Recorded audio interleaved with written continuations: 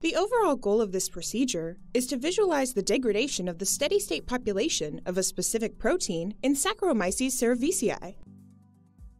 This method can be used to determine the genetic requirements for and environmental effects on the degradation of a protein of interest. The main advantage of this technique is that radioactive isotopes and lengthy immunoprecipitation steps are not required, unlike pulse chase techniques, which are also used to visualize protein degradation.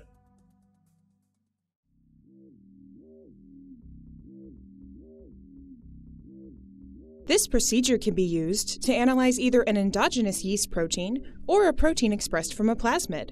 For the latter, the yeast strain is transformed with a plasmid encoding the protein of interest, following a standard yeast transformation protocol.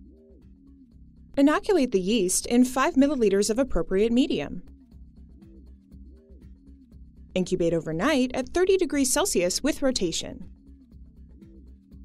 On the following morning, Measure the optical density at 600 nanometers, or OD600, of each overnight culture.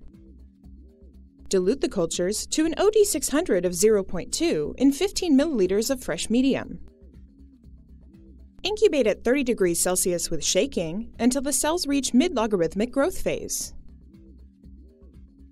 While the yeast cells are growing, prepare for the cycloheximide chase procedure.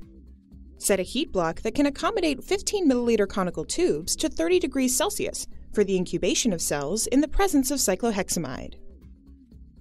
To ensure efficient heat distribution to the cultures, add water to each well of the heat block such that a 15 milliliter conical tube will cause the water level to rise to, but not overflow, the lip of the well. Set a second heat block